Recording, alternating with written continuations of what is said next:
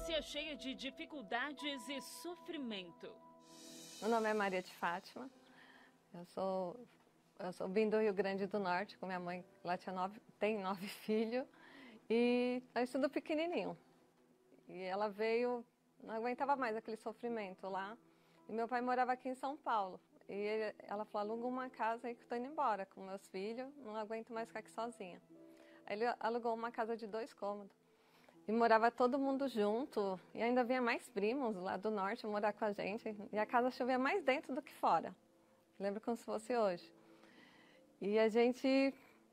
Minha mãe saía para trabalhar e a gente ficava cuidando da casa. Aí ela trabalhava num sacolão e sempre eu tive uma força assim dentro de querer, de ter minhas coisas. E ela trazia umas frutas do sacolão, e aí eu fazia um gelinho, eu tinha uns sete anos, aí fazia gelinho para vender, eu acho que desde criança Deus já estava me conduzindo. E sempre gostei de fazer as coisas assim. Só que o tempo passou. Aí eu comecei a trabalhar num, numa loja de roupa, eu tinha 11 anos.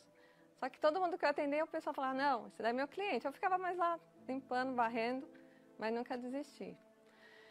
E tinha uma vida muito sofrida.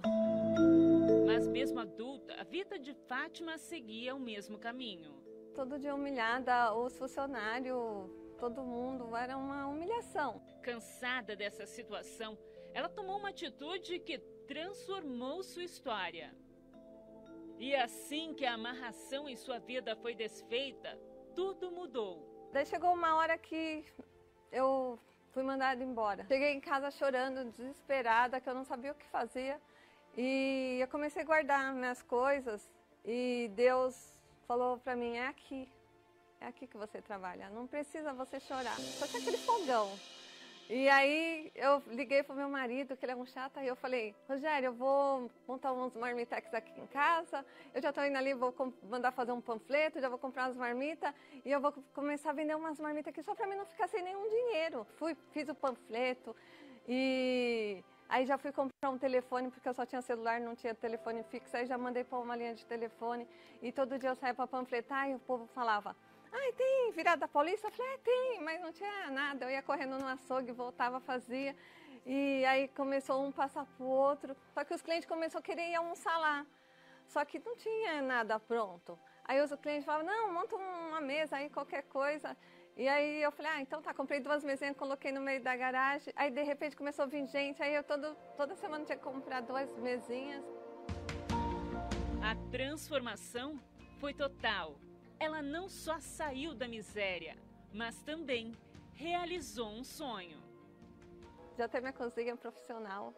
Eu tenho um, meu restaurante lá, tá lindo, maravilhoso, tá abençoado. Nunca imaginei que eu ia ter meu restaurante porque todo mundo falava que eu era incapaz, que eu nunca ia conseguir nada. Quem é? Quem é? Falavam assim. E Deus é magnífico. Eu nunca imaginei que eu ia sair de atendente, de, de balconista, para ser uma empresária hoje, porque ninguém nunca acreditou em mim.